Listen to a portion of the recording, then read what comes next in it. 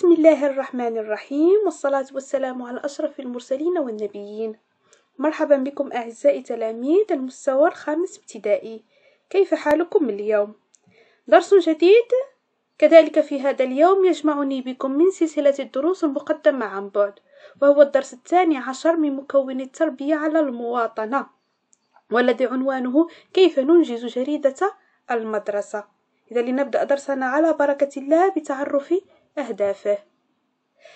أهداف التعلم لهذا الدرس هي اكتشاف المراحل الأساس لإعداد وإنجاز جريدة المدرسة. التدرب على إنتاج جريدة المدرسة والاندماج في أنشطة المحيط. الهدف الثالث الاستئناس ببعض المصطلحات المستعملة في الصحافة المدرسية. والهدف الرابع والأهم الوعي بأهمية الجريدة كأداة للتواصل في خدمة كل الفاعلين في المدرسة والمعنيين بمستقبلها. كانت هذه أهداف التعلم التي سنعمل على تحقيقها من خلال أنشطة درسنا. لنبدأ الدرس بالتمهيد له. سنعتمد في تمهيد للدرس على هذه الصورة والتي فيها مجموعة من التلاميذ في مكتبة المدرسة. دار بين تلميذين حوار.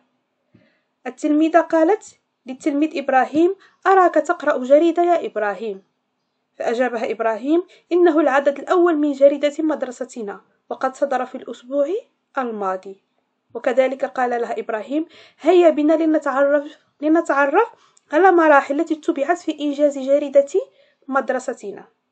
ونحن كذلك سنتعرف على هذه المراحل التي اتبعها تلاميذ آه، مدرسة إبراهيم في إنجاز جريدتهم ولنتدرب كذلك نحن على إنجاز جريدتنا. لنبدأ أنشطة التعلم. وأول نشاط هو أكتشف مراحل إنجاز جريدة المدرسة. إذا ما هي مراحل التي يجب الاعتماد عليها لإنجاز جريدة المدرسة؟ وهذا ما سنتعرف عليه من خلال النشاط الأول من درسنا. أعزائي التلاميذ أمامنا صورة هذه الصورة تمثل المرحلة الأولى من مراحل إنجاز جريدة. إذا لنلاحظ الصورة ولنستخرج موضوعها. إذا مجموعة من التلاميذ هؤلاء التلاميذ في مكتبة المدرسة وهم يشكلون فريق تحرير جريدة المدرسة. إذا أعزائي التلاميذ من خلال الصورة نستشف أن المرحلة الأولى من أجل إنجاز جريدة المدرسة هي تشكيل فريق واقتراح خطة لإعداد الجريدة. وطبعا هذه الخطة التي آه، يجب الاعتماد عليها في المرحلة الأولى من أجل إنجاز جريدة المدرسة تنقسم إلى قسمين رئيسيين. القسم الأول هو اقتراح خطة لجريدة. هذه الخطة يجب الاعتماد فيها على الأهداف. هذه الجريدة إذا ما ستكون أهداف الجريدة؟ الفئة المستهدفة. إذا من سنستهدف أو التلاميذ التي سنستهدفهم بهذه الجريدة؟ وأيضا يجب أن نحدد تاريخ إصدارها. أما الخطوة الثانية كذلك هي تحديد مواصفات الجريدة. أولا مقياس هذه الجريدة. يعني قياس الورق الذي سنعتمده من أجل إنتاج هذه الجريدة. وطبعا المقياس النموذجي هو 12 سنتيمتر في العرض على 29.7 سنتيمتر في الطول. وعدد الصفحات كذلك. وأيضا عدد الصفحات المثالي هو من أربعة إلى ثمانية على الأكثر. طريقة الطبع. هل هذه الطريقة تكون يدوية أو آه، مرقونة على الحاسوب أو مسحوبة من المطبعة؟ كذلك ألوان الطبع هل بالأبيض بالأسود أم الألوان؟ وكذلك نحدد كم من نسخة يجب أن ننجز. وأيضا آه، ثمن بيعها. وكذلك المكان الذي سيتم التوزيع فيه هذه الجريدة. كانت هذه الخطوة الأولى التي يجب الاعتماد عليها من أجل إنجاز جريدة المدرسة. وننتقل الآن إلى المرحلة الثانية من مراحل إنجاز الجريدة. وفي هذه المرحلة يجب أن نحدد محاور الجريدة ونساهم في وضع برمجة لإنجازها. ما المقصود بالبرمجة؟ البرمجة هي عملية توزيع الأنشطة. المراد إنجازها في جدول يشمل أوقات وتواريخ ومكان الإنجاز ووسائله. يعني نحدد برنامجا من أجل إنجاز هذه الجريدة. وكذلك كل جريدة محاور يجب الاعتماد فيها. الم... وهنا صورة تدلنا على محاور التي يجب اعتمادها من أجل إنجاز جريدة. لأقوم بقراءة هذه المحاور. أول محور من محاور الجريدة هي كلمة العدد الافتتاحية. والمقصود به هو مقال قصير يتناول موضوعا محددا يتصدر دائما الصفحة الأولى من الجريدة. وطبعا المحاور يجب أن تكون فيها كذلك أنشطة المدرسة وكذلك قصة في دقيقة وكذلك شاعر صغير البهلواني ترى المسرح إبداعات كلمات متقطعة. إذا هذه هي المحاور التي يجب أن تكون في الجريدة. كلمة الافتتاح يجب أن تكون في جريدة مدرستنا الأنشطة التي تقام في المدرسة. كذلك نكتب قصة قصيرة في دقيقة قصائد شعرية بهلواني مجموعة من الإبداعات الأخرى للتلاميذ مثل الرسم وغيرها كلمات متقطعة ونعود هنا كذلك في الجانب الآخر من الصورة. هنا العمليات التي يجب أن نقوم بها من أجل إنجاز برمجة لإنجاز جريدة. وأول هذه العمليات جمع المعلومات والوثائق الصور والرسوم الكاريكاتور تحرير المواضيع أي كتابة المواضيع مثل المواضيع التي تخص أنشطة المدرسة آه، مو... آه، مثلا قصة صغيرة أو غيرها. كتابة المواضيع أو مسكها على الحاسوب يعني كتابة هذه المواضيع بخط واضح. إذا كنا سنعتمد طبع بطريقة يدوية أو مسكها على الحاسوب إعادة قراءة المواضيع المختارة. طبعا المواضيع التي نختارها من أجل إصدارها في الجريدة يجب أن نعيد قراءتها وكذلك يجب أن نختار الأجود والأحسن منها.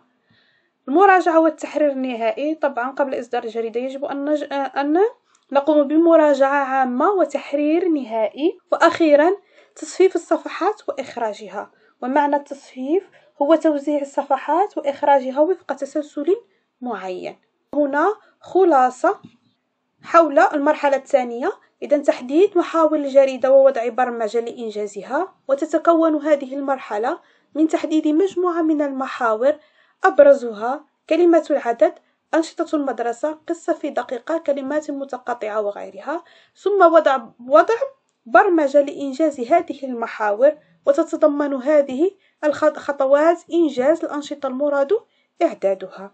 بعد أن تعرفنا على المرحلة الثانية من إعداد الجريدة. ننتقل الآن إلى المرحلة الثالثة.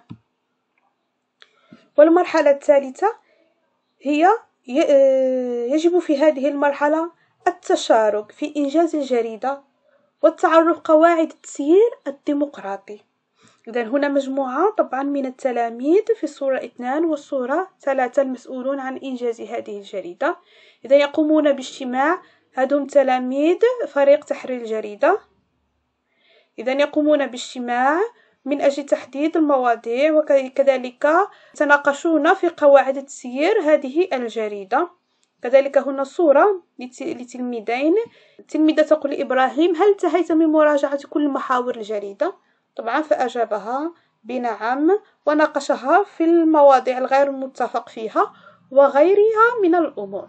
إذا في هذه المرحلة فلا بد من اجتماع فريق الإنجاز بغية تحديد الخطوات الأخيرة لإخراج الجريدة وتتضمن إعطاء عنوان للجريدة مناقشة مواد الجريدة والمصادقة عليها. يناقش المواضيع المقترحة في الجريدة وأن يصادقوا عليها بمعنى أن يتفقوا عليها. ترتيب النصوص حسب إخراج الصفحات. أن يقوموا بترتيب المواضيع المقترحة في الجريدة حسب الصفحات. وحسب التسلسل المنطقي. إنجاز جماعي لتصميم العدد كتابة المواضيع في شكل خانات وضع الصور ورسوم وأخيرا يجب أن يقوموا جماعة بإنجاز هذه الجريدة. إذا كانت هذه هي محاور الجريدة الثلاث من أجل إنجازها. وأولا تشكيل فريق واقتراح خطة لإعداد الجريدة. المرحلة الثانية تحديد محاور الجريدة والمساهمة في وضع برنامج لإنجازها. والخطوة الثالثة تشارك في إنجاز الجريدة وتعرف خطوات التسيير الديمقراطي. بعد أن تعرفنا في النشاط الأول على مراحل إنجاز الجريدة ننتقل الآن إلى النشاط الثاني هو التدرب على إنجاز الصفحة الأولى من جريدة المدرسة، هذا نموذج للصفحة الأولى من جريدة المدرسة، إذا لنحدد في هذه الصفحة الأولى الأجزاء الثلاثة المهمة التي قسمت إليها هذه الصفحة، وأول هذا وأول هذه الأجزاء هو عنوان الجريدة، إذا لا بد لأي جريدة أن يكون لها عنوان، كذلك في هذا العنوان يجب أن يتضمن تاريخ الإصدار يعني الشهر السنة وكذلك رقم أو عدد الجريدة واسم المدرسة التي أصدرت هذه الجريدة طبعا ثمن الجريدة، الخطوة الثانية أو الجزء الثاني من الصفحة الأولى من الجريدة ويتضمن هذا الجزء افتتاحية أو كلمة العدد مقال أو أنشطة هامة أو تعريف بمجموعة من الأنشطة التي تقام في المدرسة، صورة أو كاريكاتور، حكمة أو نكتة أو إعلان أو غيرها، والجزء الثالث من من الصفحة الأولى من الجريدة عناوين داخلية وأرقام الصفحات، يجب أن نضع العناوين ديال الأنشطة أو عناوين الأنشطة أو المحاور التي قمنا بإصدارها في الجريدة ونحدد أرقام صفحاتها، وطبعا هنا رقم الصفحة الأولى، كانت هذه هي تصميم واجهة الجريدة أو الصفحة الأولى من الجريدة، وتعرفنا كذلك من خلالها على الأجزاء التي تتضمنها، إلى هنا أعزائي التلاميذ نكون قد تعرفنا على محاور إنجاز الجريدة، وكذلك تعرفنا على نموذج للصفحة الأولى من الجريدة أو المحاور التي يجب أن توضع في الصفحة الأولى من الجريدة، وطبعا جريدة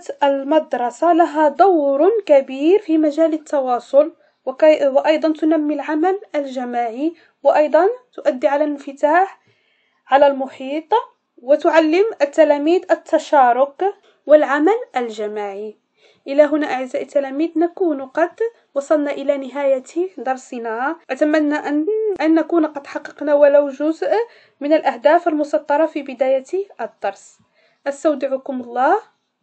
إلى أن نلتقي في درس جديد، إلى اللقاء أحبائي.